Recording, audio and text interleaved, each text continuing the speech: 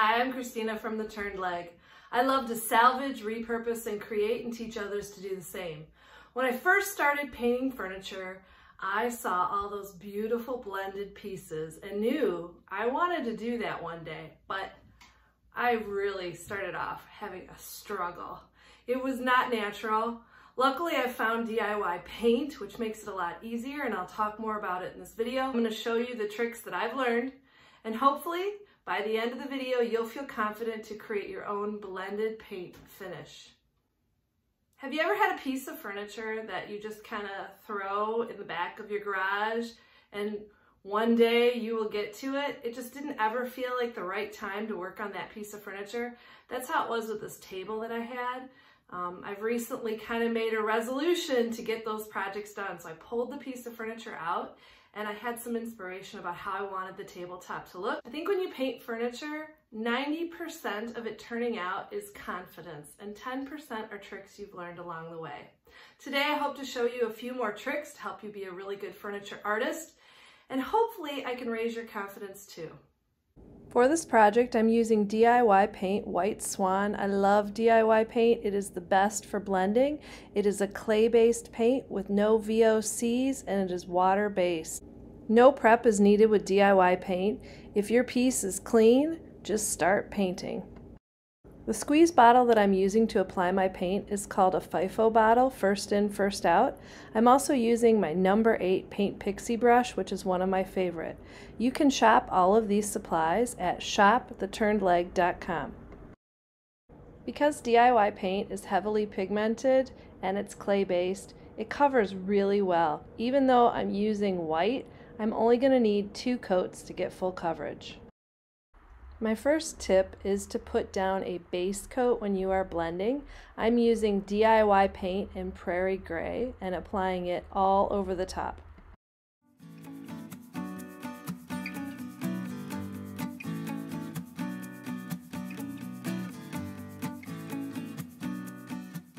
When you're using DIY paint, it will lighten as it dries and so you can always tell when it's ready for the next step.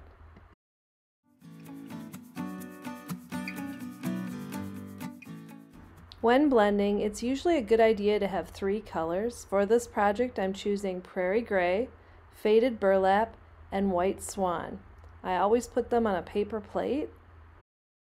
The brush you use also makes a difference. It is essential to have a good brush to get good blending. I love my Paint Pixie Dusty brush or my DIY brush, also made by Paint Pixie, that is a blending brush. Both are essential to getting a great blending. Once I have my palette of colors ready, the only other item I need is my Water Girl Fine Mist Sprayer. This water bottle sprays an extremely fine mist and is one of the keys to good blending. Time to blend. I use my dusty brush and dip it into each one of the three colors on my palette and then I go back and forth with long strokes. I try not to think too much about how I get the paint on my paintbrush because that adds to the variation in color. As I paint, I also use my Water Girl Fine Mist spray bottle to help to blend the colors and make everything more even. Just spray, dip, and paint.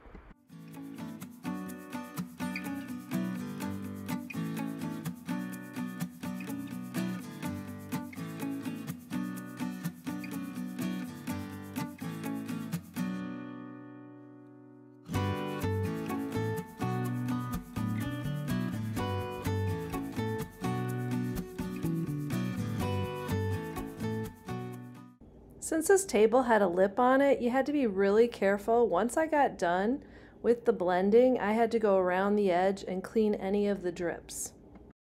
If you're new to blending, a flat surface will be a lot easier. And this is day two. I let this sit overnight. Sometimes when blending furniture, it's a good idea to let the piece rest and then kind of see what it looks like the next morning. I'm gonna add a few more touches and smooth out parts I think need it. I once again have my Water Girl water bottle and my palette of DIY paint colors. Let's get started. The process is the same, just spray and then dip your paintbrush into each one of the three colors and brush on. Just keep painting until you get the colors the way that you like.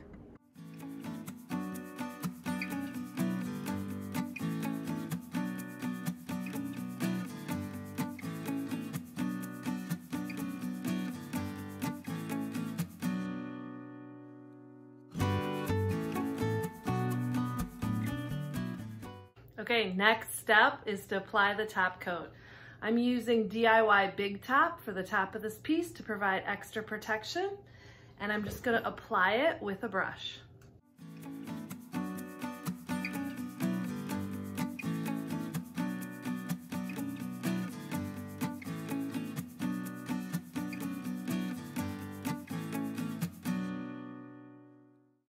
You will need two coats of Big Top for your piece.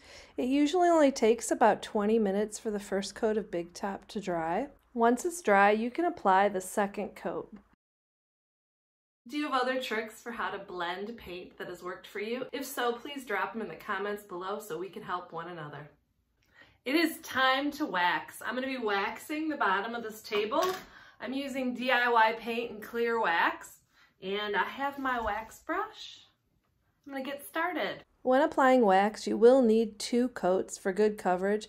Make sure to let it dry in between, and when you're done, make sure to buff it with a dry cloth. To make an extra durable finish, let me give you a quick little tip. You can apply DIY wax, clear wax, after your two coats of Big Top have dried. I like to make sure to sand with 320 grit sandpaper in between so you get a really smooth finish, and then I apply my clear wax. This clear wax adds just a little extra protection to your piece and provides a really nice shine. Once the wax dries, I will buff it with a lint-free cloth. Thank you so much for watching this video. To shop for any of the products that you saw me use in this video, just check out the links in the description below. And here is the finished piece. I really love how the top of this turned out with the blended paint finish. In fact, so much so that I did a whole nother table with the exact same finish I thought I would show you. Are you ready now to start on your blended paint finish? I hope so. I hope this video has inspired you to get out, grab a paintbrush, and create. If you like this video, please click the like button and subscribe. It helps me to make more videos to help others to salvage, repurpose, and create.